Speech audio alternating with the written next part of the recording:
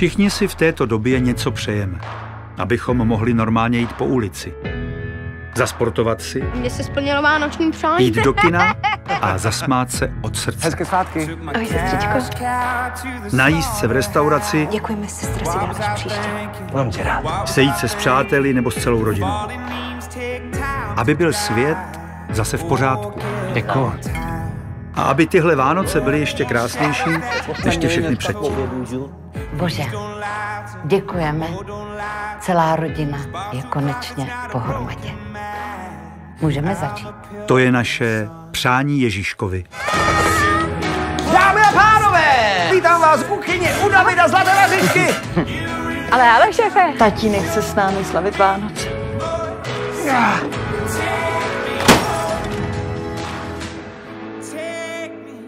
Ještě tohle, Štěpánku.